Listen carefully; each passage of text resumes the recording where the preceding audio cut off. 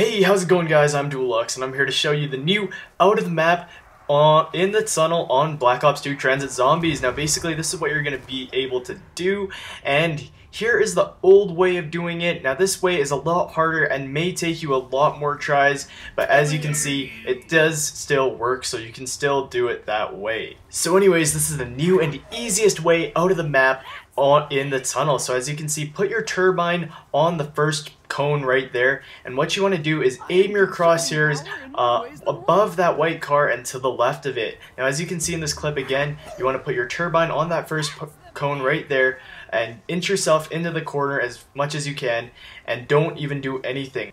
So here I'm going to show you exactly where you want to aim your crosshairs. As you can see the top tick crosshair is above the white car and to the left of it and it's on the cement pillar. So as you can see here, just hold square to pick up the turbine and your shield should just easily slip you through the wall.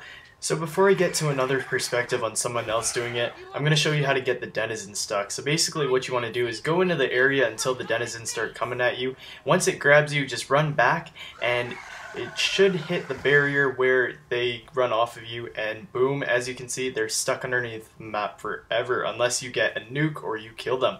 Alright, and I'm here just to show you guys another clip of this again. If you guys want to see this, boom, do it exactly like I do. Uh, you can do this with any other gun, it doesn't really matter. I just do it with the M16 because it was the cheapest.